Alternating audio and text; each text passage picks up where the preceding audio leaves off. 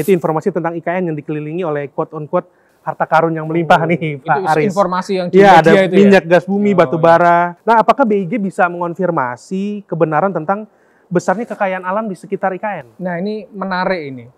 Jadi eh, sebetulnya informasi geospasial, informasi geospasial dasar yang saya sampaikan di awal tadi, yang membuka jalan Ya. untuk mengetahui berbagai potensi Ya. tadi lebih detail, itu kan bisa dimanfaatkan. Nah kemudian pertanyaannya, apakah di sana ada emas, apakah di sana ada tambang, apakah di sana ada potensi kehutanan yang luas? Ini masuk dalam ranah yang kita sebut dengan informasi geospasial tematik Oke. ya misalnya tematik pertambangan, kemudian tematik kehutanan.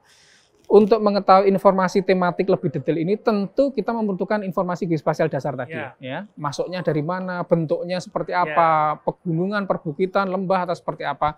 Baru dari situ kita masuk untuk melakukan eh, identifikasi potensi-potensi tadi yang disebut dengan harta karun. Jadi pertanyaannya apakah mungkin harta karun di sana itu ada harta karun dalam arti potensi sumber Iya, daya alam ya? potensi sumber- Bisa jadi ya, dan bisa jadi banyak. Untuk itu maka eh, silakan digunakan apa namanya informasi geospasial dasar yang dipunyai oleh BIG tadi untuk mengembangkan itu semua Iya, iya. potensi kepariwisataannya seperti apa.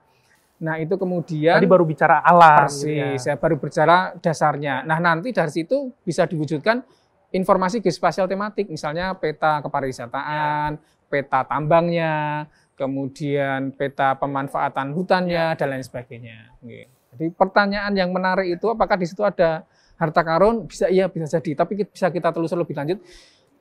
Eh, data dari geodata Ya. dalam bentuk citra satelit dan foto udara mampu atau bisa digunakan juga untuk melakukan ekstraksi Ya. itu. Nah, eh, tentunya citra satelit juga menjadi bagian yang di eh, apa namanya dilakukan oleh di Badan Informasi Geospasial. Tentu pengadaan citra satelitnya ada di BRIN, tetapi pengolahan citranya dan ekstraksi informasi dari citra satelit yang tadi bisa digunakan untuk tambang dan lain sebagainya itu mm, bisa dikelola oleh Oke, Medcom.id, a part of Media Group Network.